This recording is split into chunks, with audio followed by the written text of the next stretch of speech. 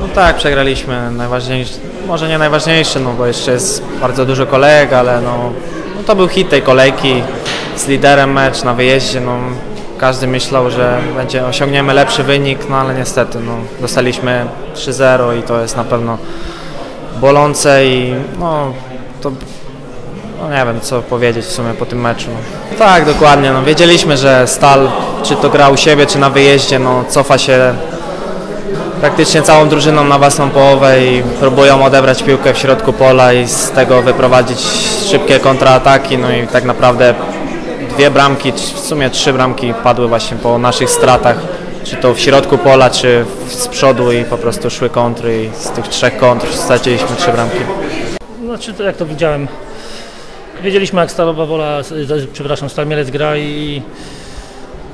ciężko się gra, jak przyjeżdża się i drużyna cofa się i gra z kontry, tak? Byliśmy na to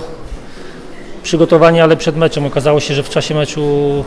y, nie do końca nie, nie wykonaliśmy tego, co sobie założyliśmy i, i z perspektywy meczu wydaje mi się, że byliśmy słabsi, przegraliśmy zasłużenie. No tak jak powiedziałem wcześniej, wiedzieliśmy jak oni grają, y, grają u siebie specyficznie, bo bo są liderem, grają u siebie, a, a się cofają, a mnie nie oceniać yy, gry Mielca, oni po prostu jak punktują, jak widać w tabeli przynosi im to efekty, a, a co do naszego, naszego grania naprawdę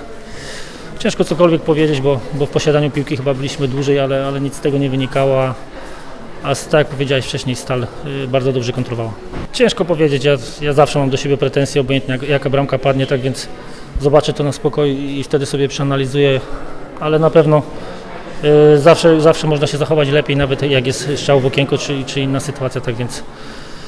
szkoda, że trzy bramki stracone, trzeba to przeżyć i na pewno trzeba patrzeć y, do przodu, bo, bo mamy ważne spotkania przed sobą, z tego co wiem Znicz wygrał i,